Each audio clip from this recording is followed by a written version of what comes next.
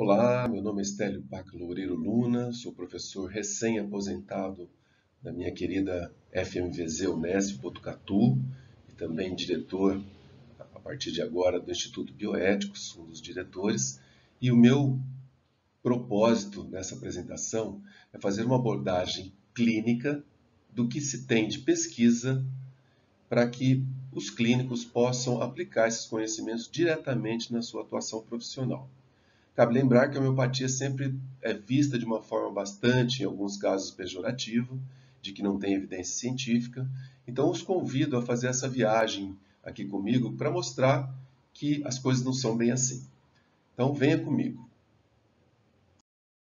Nosso objetivo aqui é fazer uma análise crítica da evidência da homeopatia na clínica veterinária e, para tal, nós lançamos mão de uma revisão feita no PubMed há pouquíssimo tempo, em que homeopatia foram as palavras-chave, homeopathy, que seria a versão anglo-saxônica da, da homeopatia, e todas as espécies domésticas eu procurei achar. Não, não trabalhei com ratos e camundongos, então vejam que essa apresentação é especialmente na área de clínica, na área aplicada. E nós achamos 201 artigos em todas as espécies, sendo 76 em cães e 30 em gatos.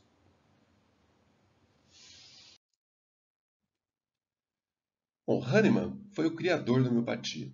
E o Hahnemann já inaugurou a experimentação. Então, a experimentação ela é base da homeopatia. A partir de 1796, quando ele lançou esse livro, Ensaio sobre o Novo Princípio para Descobrir o Poder Curativo das Drogas, e na sequência a grande obra dele, que foi o Organon da Arte de Curar, ele se baseava na experimentação, como nós vamos ver a seguir. Uma das primeiras áreas a estudar ou a usar o duplo cego no homem foi a homeopatia.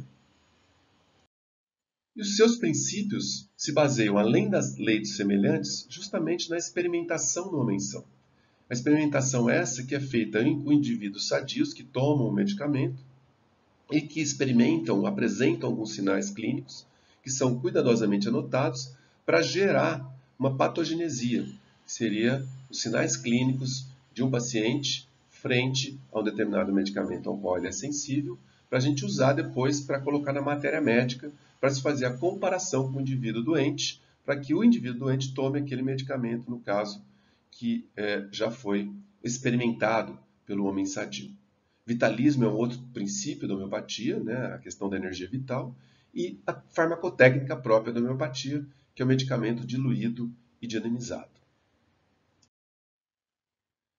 Nós trabalhamos aqui nessa apresentação com estudos que tiveram revisores, que tiveram grupo controle, quer eles sejam positivo no caso de uma comparação com um fármaco alopático, por exemplo, ou com um método negativo, que seria o controle negativo por meio do placebo, estudos aleatórios em que animais eram encaminhados para cada grupo de acordo com o sorteio, eram estudos cegos, portanto, cujo avaliador não sabia se o paciente tinha recebido homeopatia ou se tinha recebido o fármaco, por exemplo, convencional ou mesmo grupo placebo, para não haver uma tendência nessa avaliação, e que tinham um certo poder de teste também, ou seja, que aquele número de animais que foram utilizados seria significativo caso ocorresse uma diferença é, importante do ponto de vista é, clínico, que fosse então detectada estatisticamente.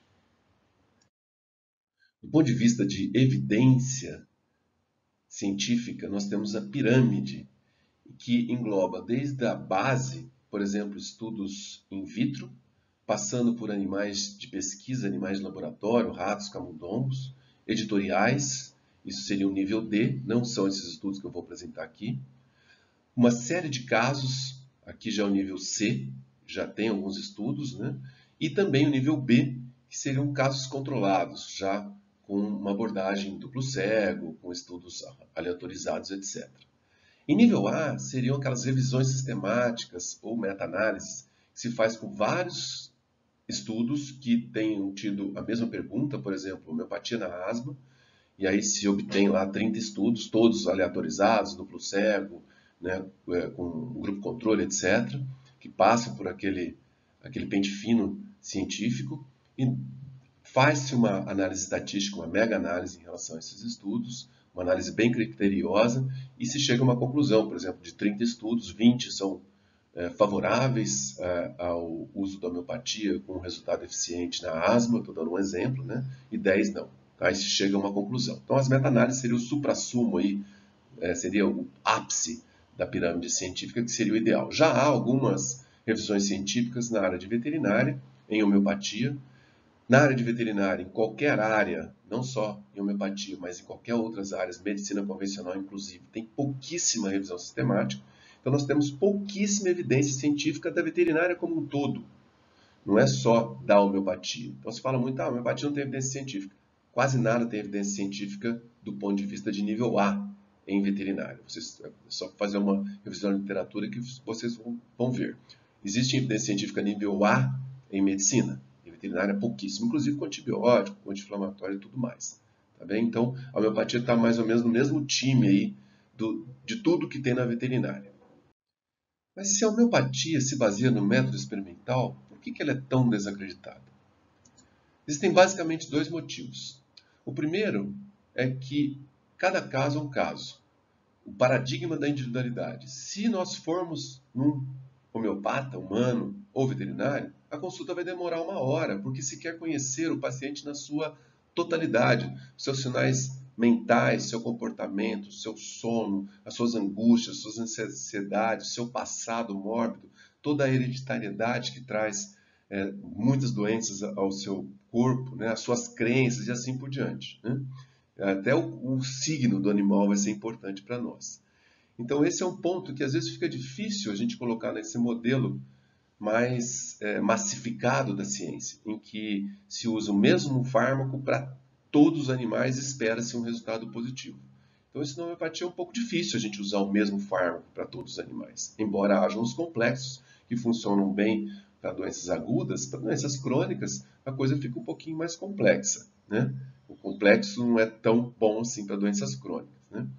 É, um outro ponto importante é que a partir da 12CH não tem mais matéria. Então está tão diluído o fármaco que ultrapassou-se o número de Avogadro. Lembra lá da, do cursinho 6,02 vezes 10 a menos 23? Não tem mais matéria. E a 12CH é 10 a menos 24. Então como que um fármaco sem matéria pode ter algum efeito? Bom, simplesmente porque matéria é uma exceção no universo. 99,9992% do universo é energia, não matéria. Da matéria que existe, 90% do 0,008%, é, 90% é, dessa matéria está dentro do núcleo das estrelas. É uma matéria completamente indiferenciada, que a gente nem tem acesso. Então, a matéria é pura exceção no universo. Então, se a gente pensar materialmente, nós estamos extremamente limitados, muito dentro da caixinha. Quando a gente fala em antibiótico, o antibiótico não cura. O antibiótico ele vai matar as bactérias que estão causando eventualmente algum dano no seu corpo. Quem vai se curar é o corpo. Então nós temos que empoderar o nosso corpo, empoderar o corpo do animal. É ele que vai nos curar. Não adianta você dar um antibiótico de última geração para uma bactéria que é sensível a ele, o paciente vai morrer do mesmo jeito de septicemia se ele não desenvolver a sua atividade imune. Né? O Covid está aí para mostrar isso. Né? Infelizmente, muitas pessoas morreram por conta de depressão da imunidade. Né? Pessoas que tinham comorbidades, por exemplo. Que é que nós temos que empoderar o nosso corpo. E nós, na medicina convencional, a gente se desempodera, porque a gente acha que a cura vem de fora para dentro. Mas a cura sempre, mesmo na medicina convencional, vai vir de dentro para fora. É o corpo que vai reagir. Para a gente conhecer um pouquinho desse processo de diluição, eu vou falar rapidamente sobre farmacotécnica. Para quem nunca ouviu falar em homeopatia, nós diluímos uma parte da substância que nós queremos é, produzir, né? no caso, extraída a partir da tintura-mãe. A tintura-mãe já é 1 para 10, então uma planta, por meio de lixiviação, por exemplo, de maceração, é feito uma, uma tintura. Uma parte dessa tintura em 99 partes de solvente, vedamos o frasco e fazemos o processo de sucção desse frasco, que consiste no processo de dinamização. Depois de dinamizar 100 vezes, nós temos a primeira centesimal hahnemanniana. A seguir, nós diluímos novamente uma parte da primeira centesimal hahnemanniana em 99 partes do solvente e fazemos esse processo de sucção novamente, dinamização, até conseguir, após 100 vezes, a segunda centesimal hahnemanniana. E assim por diante. Indefinidamente, pode ser mil, cinquenta mil vezes e assim por diante. A partir da 12CH, nós não temos mais matéria. Então, é importante lembrar que a partir da 30 nós fazemos o processo, esse processo por meio de máquinas. Né? Imagina ficar fazendo sucursão mil vezes, por exemplo.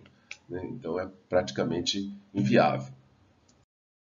Então, se não tem mais matéria, trago aqui até uma tirinha homeopática, né? diluído com pixels brancos um milhão de vezes para aumentar a graça. Nós temos aqui um processo de diluição, que quebra o paradigma da ciência, obviamente, né? como é que uma coisa diluída pode funcionar, diluída a ponto de não ter mais matéria. Nós temos a questão da individualidade, que é um outro paradigma importante. Né? Então, o ideal seria trabalhar em ciência com é, cada caso sendo um caso. E temos a falta, ou a pequena quantidade de evidências científicas. Entretanto, nós vamos ver a partir de agora que as pesquisas estão aí e têm demonstrado que a homeopatia tem resultado, mas vocês vão ver com os próprios olhos. Só para começar rapidamente, fazendo uma análise da própria substância, do próprio solvente do medicamento homeopático, a ciência dos materiais nos demonstra que os materiais são tridimensionais. Na verdade, nós temos até mais dimensões. Né? Segundo Einstein, no mínimo sete, mas na verdade nós temos N dimensões, né, que a gente não consegue ver com os nossos próprios olhos. A água tem uma estrutura nano-heterogênea. E epistaxe seria a transmissão da informação não material da superfície de um material, normalmente sólido, a outro usualmente líquido. Essa técnica, essa tecnologia, se usa em toda a tecnologia moderna, com semicondutores, com microtransistores. Isso, isso não é uma, uma novidade, não é algo que se faz apenas na homeopatia. Né? Então é algo que existe, que a gente, todas as coisas palpáveis, muitas das coisas palpáveis que a gente usa hoje em dia são com semicondutores e microtransistores. E quando se faz um processo de temperatura e pressão na solução, que é o processo de ionização, essas nanopartículas oxigênio, nitrogênio, oxigênio e possivelmente a substância original são incorporadas no solvente. E se a gente comparar um solvente, por exemplo, uma solução hidroalcoólica, de um, de um medicamento inerte que não sofreu o processo de ionização, com um outro solvente de um medicamento que sofreu um processo de ionização, vocês vão ver que há diferenças, como vou demonstrar a seguir. Então, apenas para exemplificar, que é um estudo mostrando a estrutura diferente de substâncias homeopáticas, tanto do ponto de vista de dinamização, quanto do ponto de vista de fármacos. Então, por exemplo, aqui nós temos Nux vomica e o natrium muriático. Nux vomica seria a linha preta e o natrium muriático a linha mais acinzentada. Exatamente o mesmo solvente foi utilizado, mas há uma diferença de absorvância diferente. Né? Vocês percebem que são duas realidades físicas diferentes entre uma e outra. Por quê? Porque essa impregnação da substância original no solvente ocorre. É, há também diferenças de índice de difração, de refração. Há também diferenças em constante dielétrica entre esses solventes. Então, há várias evidências físicas que mostram que os solventes, sobre a forma de dinamização com medicamento homeopático, são diferentes do solvente que não sofre processo de dinamização ou que não tem o medicamento homeopático. Nessa outra imagem, nós observamos que o mesmo medicamento, por exemplo, natro muriático ou anux vomica, são diferentes de acordo com a potência. Então, além da questão da diferença entre as substâncias que ocorrem nessas constantes físicas, também há uma diferença de potência entre essas substâncias. Com relação ainda à absorvância, é, se a gente pega, por exemplo, o, um etanol, que é a primeira linha mais superior, ele é completamente diferente das outras linhas que seriam de medicamento homeopático, por exemplo. Isso vale para vários medicamentos homeopáticos. Né? Aqui o natro muriático e aqui o nux vomica. Agora vamos já chegar na área da veterinária e falar dos estudos prospectivos em veterinária. Esse colega, o Mathieu, publicou várias revisões sistemáticas sobre uso de homeopatia em veterinária e ele fez vários levantamentos de base de dados. Então, para quem quiser, essas revisões estão disponíveis na literatura. Quem não conseguir, pode entrar em contato comigo que eu passo. No final da apresentação tem meu e-mail. Dentro, é, em um desses estudos, cuja fonte foi PubMed, eles levantaram as palavras-chave homeopatia, homeopathic, clinical research, veterinary, e chegaram à seguinte conclusão. 302 artigos, 203 com grupo controle, comparando com placebo, ou seja, dentro da, da visão científica que se espera, 146 aleatorizados, 57 não aleatorizados, o que não é o ideal. Então, o que se observa neste estudo é que o número de estudos não aleatorizados, mas obviamente sobre passaram por revisores, né? E estudos controle é relativamente pequeno, enquanto que os, os predominam os estudos que são aleatorizados com grupo controle e estudos cegos também. Então percebe-se aí que 37% dos estudos foram revisados aleatório e controlados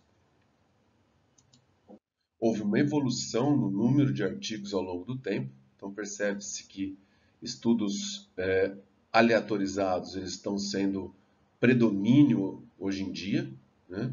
é, já desde 74, mas sempre predominaram. Então há uma melhora na qualidade das pesquisas.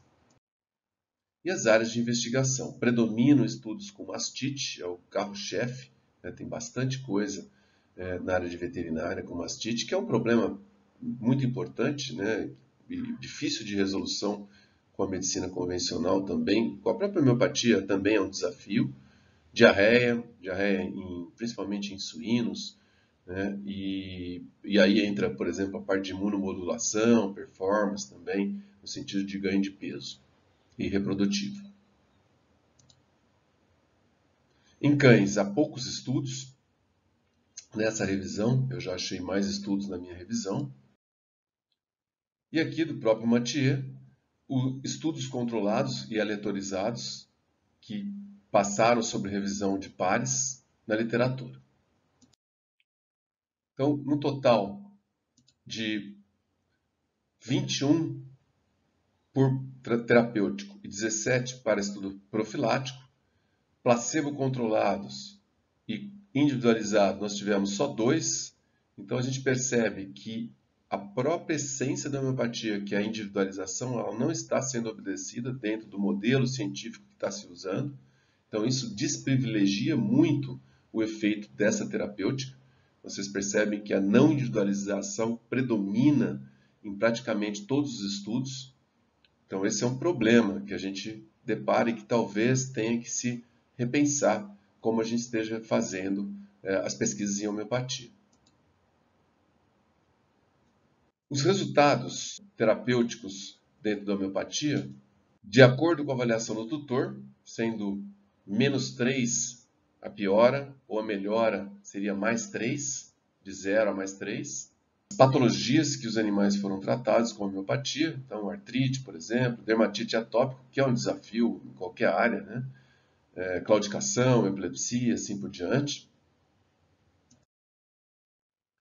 E os resultados. Então, a gente percebe que predomina, tanto para moléstias agudas como crônicas, uma classificação positiva, mais um, mais dois ou mais três, de acordo com os tutores.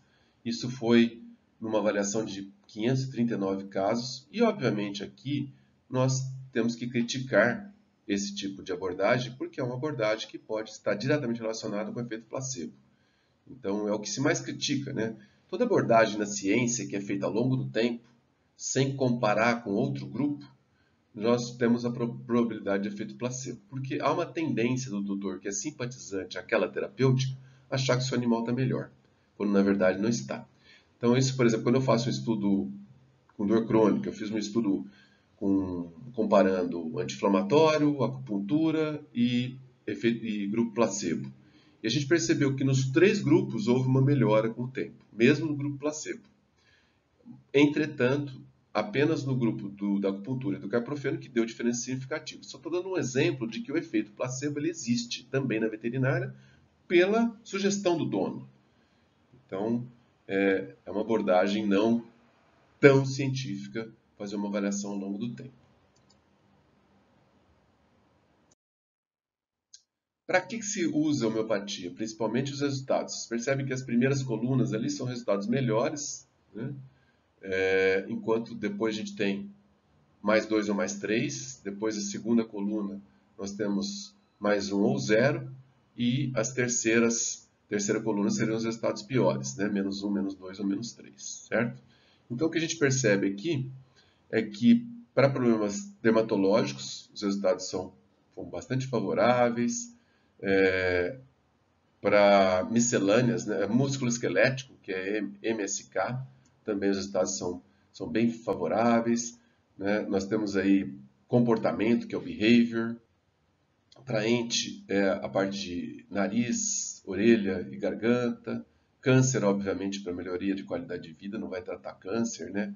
gastrointestinal, urogenital e assim por diante. Então, 79%, aí quase 80%, houve melhora, sem alteração 12% e 5,6% houve uma piora. 60% dessa melhora foi para grau 2 ou 3, que seria o topo. E das pioras, 2% foi menos 2, menos 3. Migrando agora para condições crônicas, o que, que nós temos de resultados. Então, a melhora nas condições crônicas para gatos e para cães, num total de 400 gatos atendidos, 372 com problemas crônicos,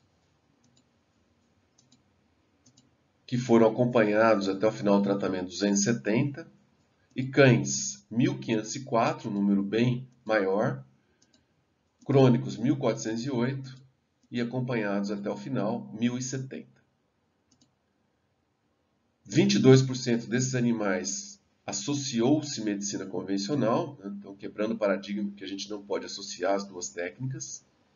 A partir daquela abordagem já comentada, que uma piora pouca, moderada, intensa seria menos 1, menos 2, menos 3, e uma melhora também né, nessa mesma classificação, mais 1, mais 2, mais 3. Então aqui nós temos um predomínio, mais uma vez, de uma melhora de score 2 ou 3 para todas as patologias aqui presentes, né? dermatite, falência renal, obviamente melhoria de qualidade de vida, de índices de azotemia, assim por diante, né?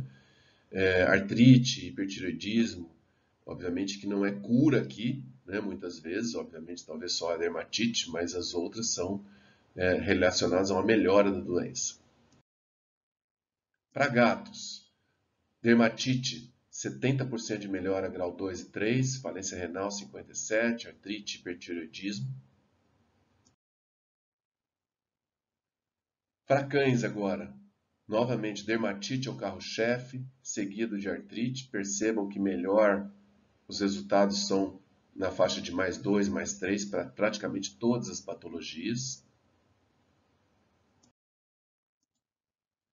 predominantemente dermatite, artrite, pioderma, colite, medo e epilepsia. Aqui ainda tem otite, externa, diarreia, incontinência urinária, agressão, espondilose e linfoma. Essa é uma das revisões sistemáticas mais recentes, no qual se avaliaram 15 artigos, 7 foram aleatorizados e controlados, envolvendo 213 cães e 40 gatos. 5 artigos foram de grupamentos de casos, 67 cavalos, 15 gatos, 63 cães. E teve um estudo coorte, é, que é um estudo prospectivo observacional. Eu selecionei alguns estudos para trazer aqui para vocês e vamos trabalhar agora com as especialidades né, e tentar aplicar isso para a nossa rotina. Começando com cardiomiopatia. Aqui nós temos um estudo com cães com doença mixomatosa de válvula mitral, que é a cardiomiopatia mais comum de cães com idade adulta. Um estudo de uma colega da comissão do Conselho Regional de Medicina Veterinária de São Paulo, da Comissão de Homeopatia, a CIDEL, a qual eu parabenizo por, por conta de uma extensa publicação na área de homeopatia em veterinária. Inclusive, chamo a atenção que boa parte dos estudos que eu vou trazer aqui são de brasileiros que publicaram esses estudos no exterior. O Brasil contribui com uma parcela significante de publicações na área clínica, especialmente em homeopatia veterinária. Então, parabéns aí para a Cidere. Nesse estudo, eles, os autores trabalharam com 30 cães com doença mixomatosa de válvula mitral, animais acima de 7 anos e peso menor que 10 quilos, estudos obviamente aleatorizados, controlados, cego como manda o figurino, utilizaram crataegos 6CH, que é o crataegos oceacanta, comparando com crataegos tintura-mãe e um terceiro grupo, solução hidroalcoólica, que seria o placebo. É importante lembrar que o crataegos 6CH ele tem menos efeito adverso que o crataegos tintura-mãe, daí a vantagem de se utilizar o crataegos 6CH. Acompanharam-se esses animais por ecocardiografia e pressão arterial sistólica por até 120 dias após o início do tratamento. Não houve diferença entre os grupos tratados, porém, apenas no grupo tratados com 6CH de crataegos ocorreu uma redução de 15% da pressão arterial sistólica com 60 dias e 10% no grupo da tintura-mãe por 90 dias. Então, aqui, para aqueles que não são familiarizados com ecodopplercardiografia, como eu que também não sou familiarizado, nós podemos observar aqui em azul o fluxo retrógrado de sangue na válvula mitral insuficiente. E nesta imagem, nós observamos, então, um aumento do encurtamento fracionário e do tempo do, relaxamento do miocárdio. Então, isso ocorreu apenas no primeiro grupo, na primeira imagem à esquerda. Então, esse aumento do encurtamento fracionário e tempo de relaxamento miocárdico é extremamente positivo do ponto de vista de resultado. Isso só ocorreu no grupo com crataegos 6CH, que é a primeira imagem à esquerda. Dor aguda é talvez o maior número de publicações que há disponibilidade do ponto de vista das especialidades. Aqui é um estudo de Vilela, da Renata Navarro Cassu, em que ela utilizou arnica montana, 12CH, é, utilizou por um bom tempo antes da cirurgia, por 15 dias, para tentar intensificar a analgesia pós-operatória em animais, cadelas submetidas a ovário-esterectomia e tratadas com meloxicam. Então, ela associou com meloxicam para ver se haveria um efeito sinérgico da arnica com meloxicam.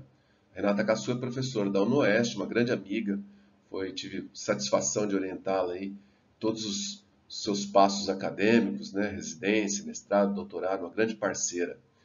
E então diante do sucesso do estudo anterior em que a arnica apresentou efeito sinérgico analgésico junto com o meloxicam, comparando com o grupo sem meloxicam, ela comparou agora a arnica com o cetoprofeno em cães, com arnica 12CH. Como resultado, observou-se que, tanto no grupo do cetoprofeno como no grupo da arnica, houve necessidade de dois resgates analgésicos e a eficácia analgésica de ambas as técnicas foi igual para ovaroesterectomia em cadelas. Em gatas, nós temos aqui a dissertação de mestrado do Jorge Meneghello, grande amigo, e que desenvolveu o efeito da arnica, comparando com cetoprofeno e campo eletromagnético em gatos submetidos a ovaroesterectomia. E na escala de dor, nós também não tivemos diferença entre essas três modalidades analgésicas. E concluiu-se que as três modalidades analgésicas foram similares para produzir analgesia em gatas submetidas a ovário da mesma forma que já tinha sido concluída para cadelas. Esse aqui é um estudo também da CIDEL, em que se utilizou arnica 30CH para ovário em cadelas. Foi um estudo cego e controlado, como os anteriores, 30 cadelas, arnica montana 30 ou solução hidroalcoólica ou ainda solução fisiológica. Cada 10 minutos os animais foram tratados por uma hora após a cirurgia, a escala de Glasgow, que é a escala validada, que foi utilizada para avaliar a dor. E a conclusão foi que a arnica ela segurou mais tempo em relação aos grupos placebo, vamos dizer assim, né? a analgesia pós-operatória, ou seja, por 18 horas esses animais não requereram resgate analgésico, enquanto que a solução hidroalcoólica e a solução, solução fisiológica, 4 a 5 horas depois, esses animais requereram é, resgate analgésico. Então, o interessante desse estudo também, além da eficácia analgésica, foi também que a arnica ela tem esse efeito aí de 18 horas. Então, talvez a gente pudesse usar pelo menos diariamente, né, ou até BID, duas vezes por dia no pós-operatório. Essa aqui é a diferença de duração de horas no gráfico à esquerda. Uma pergunta que sempre me encaquifou né, foi a via e a dinamização. Ou seja, a gente pode fazer via injetável homeopatia? É possível, né? existem várias, vários laboratórios que produzem homeopatia injetável, um deles é o Inject Center né, em Ribeirão Preto, e a dinamização é, faz diferença nessa, nesse efeito analgésico? Então, esse foi objeto de doutorado de uma orientada minha, a Denise Fátima Rodrigues, que trabalhou com gatas também. Nós trabalhamos com dinamizações de arnica 6 e 30 por via oral e também trabalhamos por via injetável, comparando com anti-inflamatório convencional. No grupo da arnica, seria arnica 30DH, nós utilizamos as decimais subcutâneo. Tivemos a via oral, a mesma arnica, a 6DH via oral e a morfina num outro grupo e cetoprofeno no último grupo. A hipótese 1 era que a arnica injetável teria eficácia similar à via oral. A hipótese 2 é de que a arnica 30DH fosse superior a 6DH e a hipótese 3 de que a arnica teria um efeito similar à morfina ou cetoprofeno. Então vamos ver o que aconteceu.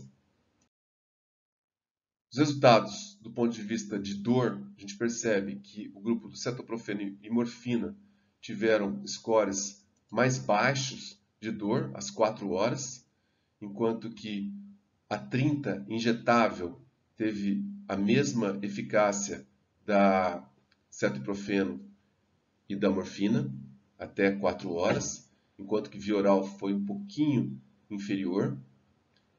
Isso aqui pela escala analógica visual.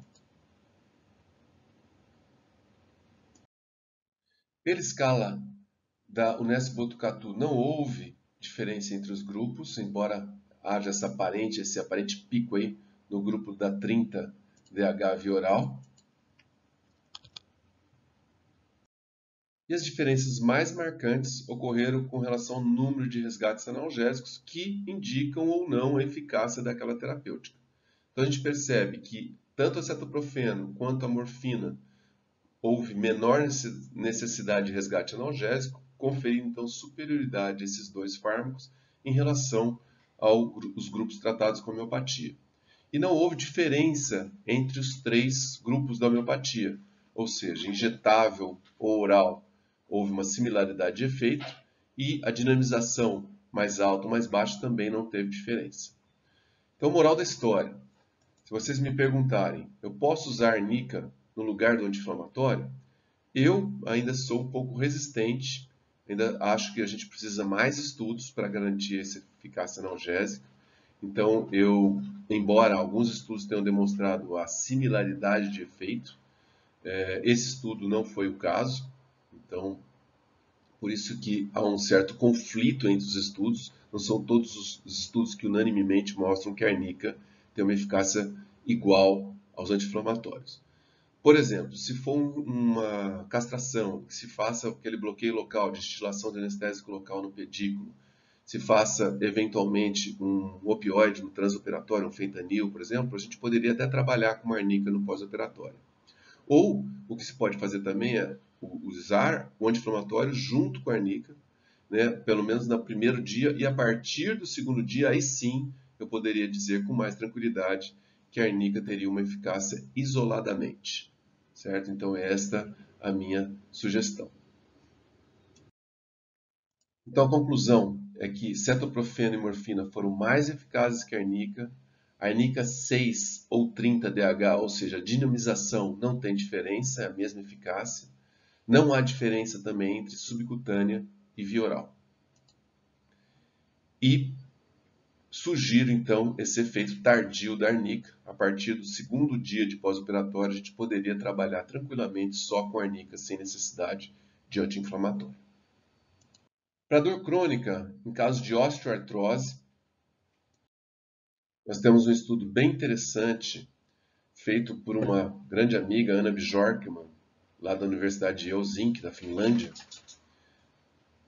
Esse estudo avaliou o efeito de um grupo tratado com homeopatia. Era um complexo homeopático, o ZIL, que envolve várias substâncias aqui bem demonstradas. 42 cães, um N significativo, com osteoartrose coxofemoral ou de cotovelo. Ela injetou num grupo o ZIL, e aí tem a posologia, versus carprofeno no segundo grupo versus placebo no terceiro grupo. Então ele foi tanto controlado para grupo tratamento positivo como grupo tratamento negativo. Aqui nós temos resultados bem promissores para a homeopatia. Então se vocês olharem na primeira coluna, nós temos ah, o índice de mobilidade conferido pelo veterinário, lembrando que esse estudo era cego, o veterinário não sabia qual medicamento que o animal tinha recebido. Né?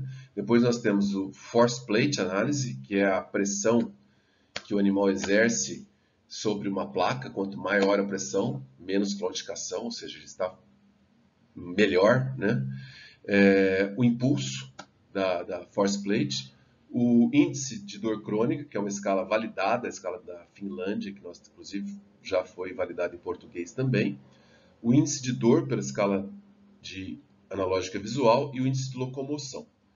No primeiro grupo, nós temos animais tratados com carprofen, então uma melhora de 70, 67% dos animais melhoraram, contra 71% na homeopatia, contra 27% apenas no grupo controle. E esses valores de P que vocês veem aí são valores em relação ao grupo controle.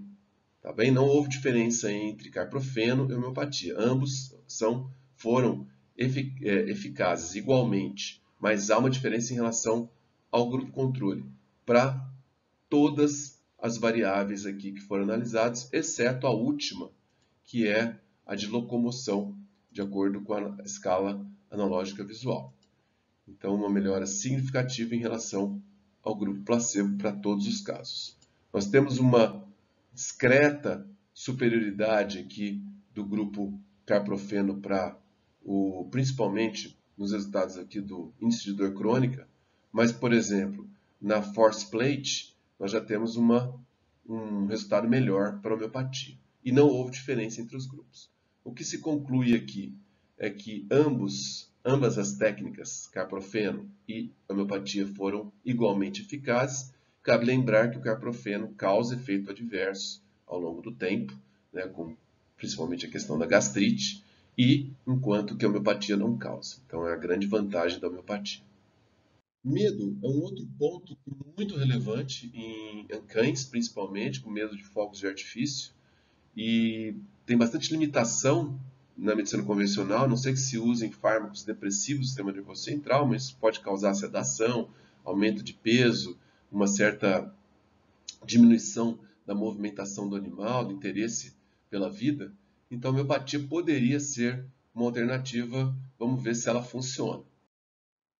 Então, esse é um estudo duplo cego, em que se comparou homeopatia versus placebo, e os resultados não foram positivos. É, em ambos os grupos ocorreu uma melhora, ou seja, no placebo também. Né?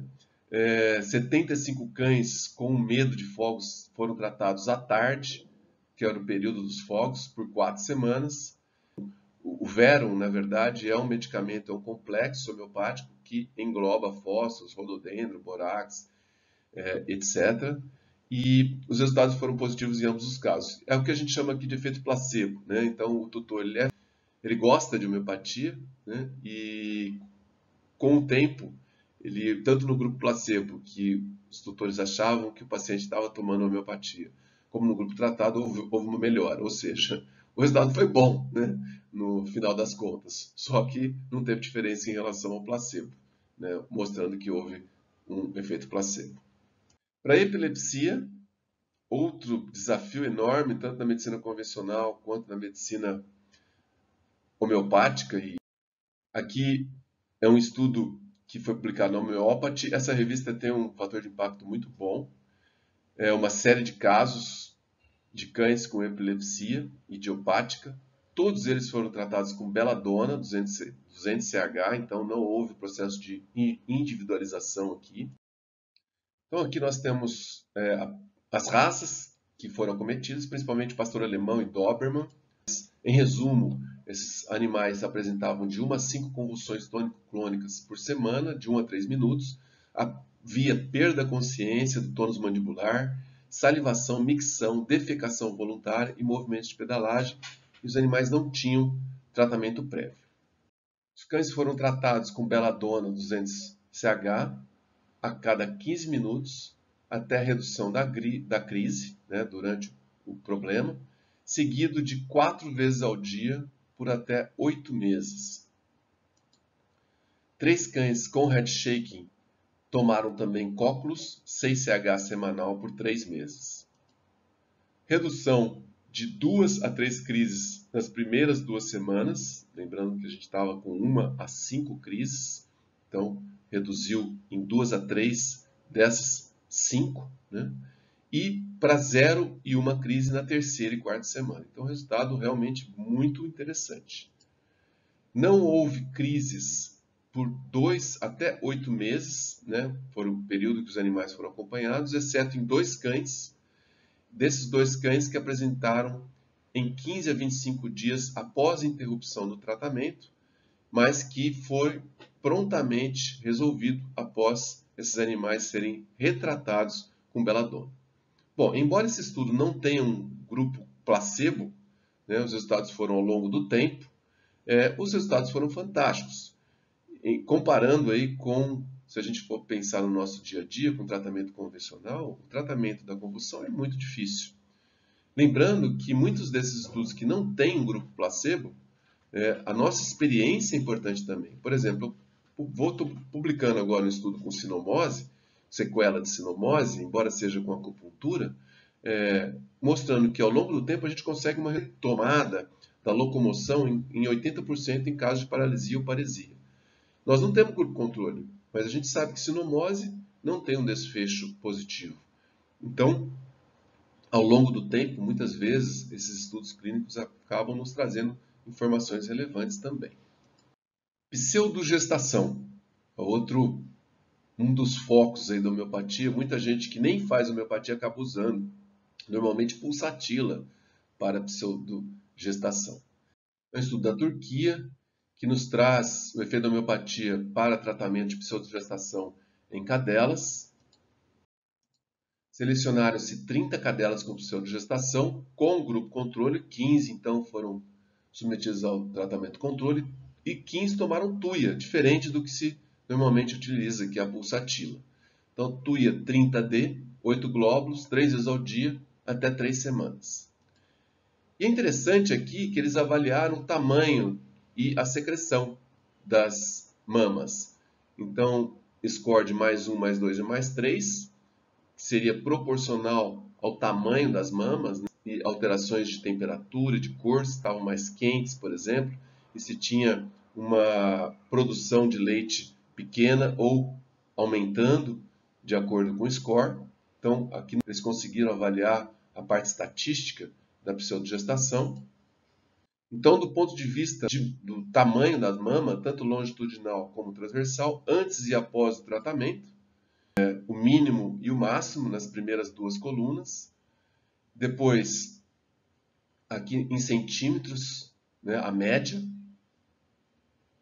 e abaixo nós vemos o resultado do tratamento, inicialmente no grupo placebo. Então não teve diferença significativa entre antes e após o tratamento. Então a gente observa no grupo que foi tratado que a porcentagem de animais que apresentavam o score 2 era relativamente maior, 60%, e 33% score 3, ou seja, estavam num, num cenário bem de abaulamento das mamas. Né? A recuperação foi impressionante. Né? Nós tivemos aí uma recuperação de 7 a 21 dias para score 3, 3 a 19 dias para score 2 e 5 dias para score 1. E, do ponto de vista de reversão, em todos os animais nós tivemos uma redução até 10 dias né? e, e, uma reversão da, do comportamento de pseudogestação. E no grupo placebo, nós tivemos uma redução de 13,3% dos animais, apenas dois animais que demoraram 10 a 15 dias. Então o resultado foi bem promissor para a pseudogestação com tuia. Os fármacos normalmente utilizados na medicina convencional são a antiprolactina, a bromocriptina e a cabergolina, que apresentam alguns efeitos adversos. Não foram utilizados aqui nesse estudo. Papilomatose é um outro desafio importante na medicina convencional e que a homeopatia apresenta bons resultados. Esse foi um estudo prospectivo em pacientes com papilomatose oral canina, paralelo, aleatorizado, duplo cego controlado. Eram 16 animais sem tratamento prévio, que receberam tratamento com sulfur, tuia, grafites e psorinum, BID por 15 dias, e teve também um grupo controle. A avaliação foi feita ao longo do tempo por 150 dias. Vejam o resultado. Aqui é só uma imagem do antes e depois de cinco tratamentos. E uma imagem gráfica do tratamento homeopático versus placebo e a reversão do quadro em pouco tempo no grupo tratado com homeopatia em todos os animais versus o grupo placebo. Dermatite atópica é o nosso grande desafio, tanto na medicina convencional quanto na homeopatia. Esse é um estudo do efeito de homeopatia individualizada, ou seja, cada caso recebeu o seu próprio tratamento, no prurido relacionado à dermatite atópica em cães. Foram 20 cães com repertorização durante dois meses. 15 casos não houve melhora nenhuma. Em 5 casos houve uma melhora de 64 a 100% de redução do prurido, sendo que desses 5 casos, comparando placebo versus homeopatia, teve um período de tratamento de placebo, outro com homeopatia. É, um teve cura, um eutanásia por conta de epilepsia e três redução do prurido. Então, os resultados ele, são muito questionáveis, né? não foram tão bons. Os medicamentos mais usados foram pulsatila, sulfur 30 e fósforo. E aqui a evolução dos casos. Cabe lembrar que esse artigo foi bastante polêmico, teve bastante carta é, ao editor, né, por vários motivos que eu não vou entrar em detalhes aqui. Esse aqui é um outro artigo, um artigo alemão, em dermatite atópica também, só tem a versão em alemão, então só o resumo que eu consegui deste artigo. 10 cães tratados com complexo homeopático por 3 semanas. Esses animais tiveram seu controle prévio de pulga e ração hipoalergênica, o que é muito importante. Normalmente a gente recomenda uma ração caseira, né, uma dietoterapia para esses casos, pelo menos com o meu cão tem um resultado muito bom. Não houve melhora de score de lesão, prurido e qualidade de pelagem. Apenas um cão melhorou prurido e a qualidade da pelagem. Mais um estudo aqui de pouco sucesso, e nesse caso 18 cães com dermatite atópica de 1 a 7,5 anos, sem é, infecção bacteriana e sem tratamento né, antes de iniciar com homeopatia. Foram tratados com outros fármacos antiprurido, que também não apresentaram sucesso. Respondiam apenas a corticoide, que esse é o grande drama da dermatite atópica, o animal tem que tomar corticoide a vida inteira. Três semanas de complexo homeopático, TID, três vezes por dia, via oral, seguido de três semanas de placebo. Um animal melhorou em cada grupo. Então, mais uma vez, os resultados não foram bons, lembrando que também não são bons na medicina convencional, exceto quando se usa corticoide. O complexo homeopático que se utilizou foi este aqui, aqui também a descrição dos medicamentos, e houve uma redução do prurido de, em 4 de 18 cães por 3, semanas, mas não foi sustentado após o novo tratamento por 30 dias. Então, a limitação desse estudo foi o tempo de tratamento, apenas 3 semanas, e, mais uma vez, o uso do complexo e não de um medicamento individualizado. Hemoparasitoses, um outro desafio importante, casos de babesiose em cães tratados com crotalos horridos, que é a cascavel. 13 animais foram tratados com crotalos 200CH diariamente, de minazina 5mg por quilo intramuscular foi o grupo controle positivo. Aqui se observa ao longo do tempo o score clínico, quanto menor o score melhor, e a parasitemia.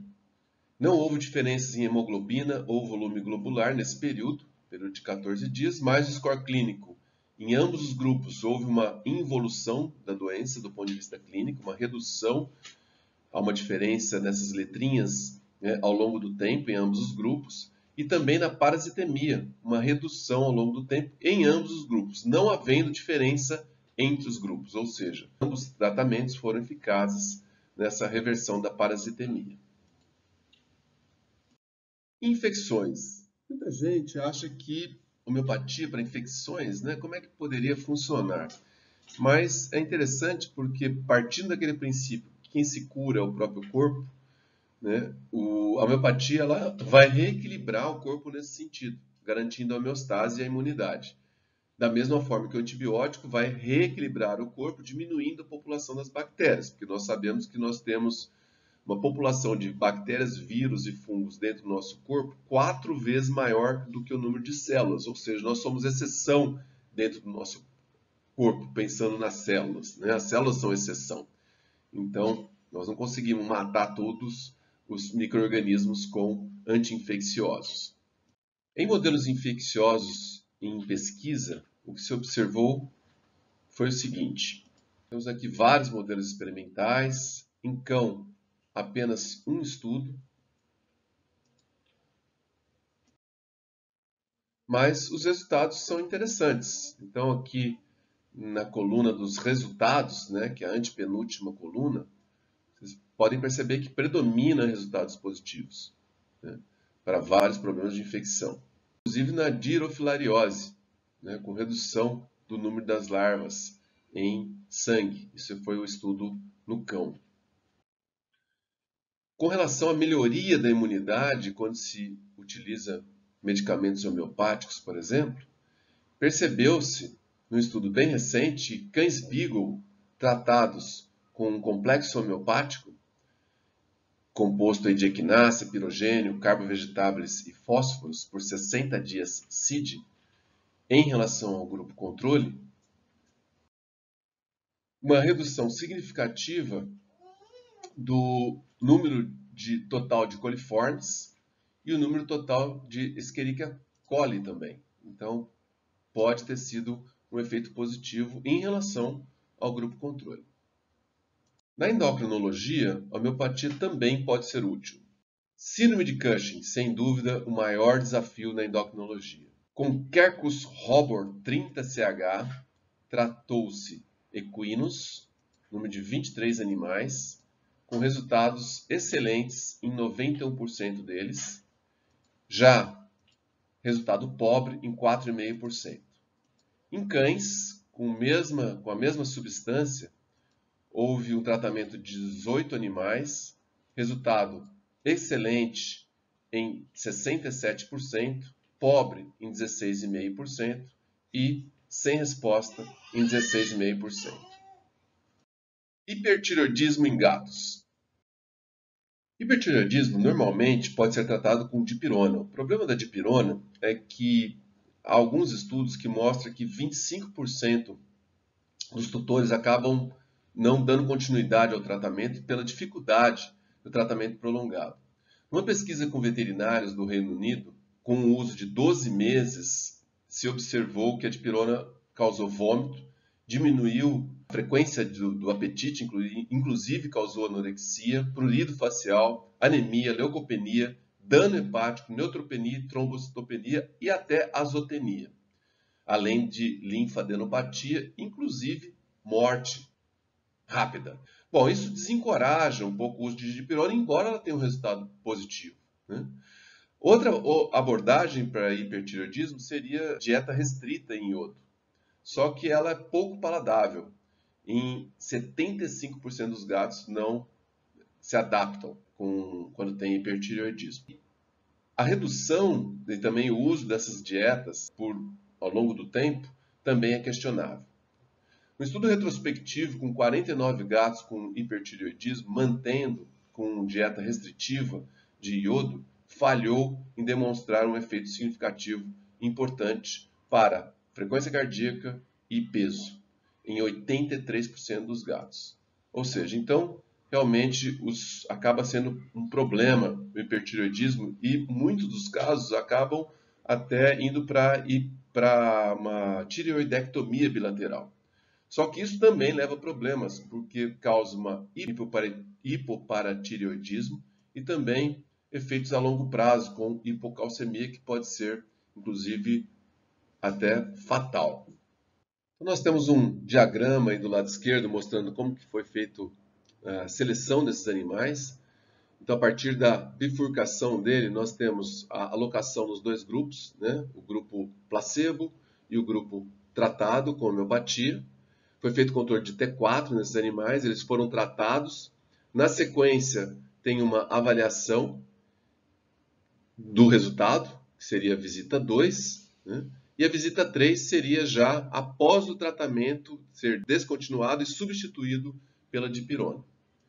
Então eles tomaram CID, esses medicamentos homeopáticos, todos eles foram tratados com tireoidinum 30CH, e na sequência, junto né, com outros fármacos de acordo com uma certa individualização, aí entrou licopódio, natro muriático, fósforos e assim por, por diante. Foram 64 pacientes no total. Os resultados não foram promissores, então na primeira coluna aqui nós temos a diferença entre homeopatia e placebo, não há diferença entre T4, nem frequência cardíaca e nem em peso. Já depois do tratamento com dipirona, após três semanas, com 2,5 mg BIT, esses animais apresentaram, em relação à linha pontilhada, que seria os valores antes do tratamento com dipirona, apresentaram uma redução em T4, uma redução em frequência cardíaca e um, uma, um aumento em ganho de peso, mostrando o resultado positivo da dipirona já sem resultado positivo para a homeopatia. Granuloma eosinofílico felino Aqui se utilizaram medicamentos à base de serpentes. 14 animais, 3 não retornaram, 1 não teve efeito após meses e 10 se curaram do problema. Na maior parte dos casos, esses remédios foram láxes, mas teve outros também, crotalos, sencris, elapis e naja, e um vipera. E aqui os resultados após quatro meses. Tivemos aqui cinco casos em um mês, dois casos em dois meses, um caso em um mês e o restante dos casos aqui nos últimos quatro meses. Então, os resultados foram bem promissores para granuloma eosinofílico. E aqui a classificação das lesões, né? E para cada tipo de lesão, um tipo de medicamento que, de acordo com repertorização, foi indicado. Nós temos aqui os medicamentos, questão da repertorização que mind seria mente, pele, extremidades, boca, face e sintomas gerais. Então, para quem não sabe o que é repertorização, seria quando a gente faz a seleção dos medicamentos baseado nos seus sintomas. Há um, tanto programas é, já disponíveis, digitalizados para isso, ou pode-se utilizar o repertório, que é uma matéria médica ao contrário. Né? Tem os sintomas e tem os medicamentos correspondentes a cada sintoma. Aqui um exemplo de um caso antes e após, extraído do próprio artigo. E para concluir a nossa apresentação, cabe lembrar que ainda há muitos desafios. Dentro da ciência, nós temos a dificuldade ainda de se pensar no mecanismo de ação da homeopatia, do ponto de vista, vamos dizer, palpável. Temos ainda a questão da ponderabilidade, que é o fato de não haver matéria em algumas dinamizações, diluições da homeopatia, a partir da 12CH ou 24 decimal. Ainda temos muitos estudos a fazer com grupo controle, grupos aleatórios, estudos cegos, então ainda há uma demanda grande de pesquisas para isso.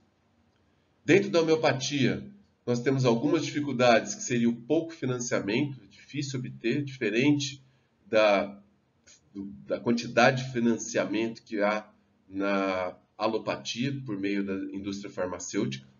Pouca abertura, ainda há muito preconceito, que a gente ainda precisa trabalhar essa parte. A se fazer mais estudos com individualidade, ou seja, abordando o paciente no seu todo e não utilizando os mesmos medicamentos para todos os pacientes, porque esse é um dos princípios importantes da homeopatia. E eu gostaria de agradecer muito a presença de vocês aqui, mesmo que online, e estou à disposição, esse é meu e-mail. O material também está disponível, então muito obrigado de coração.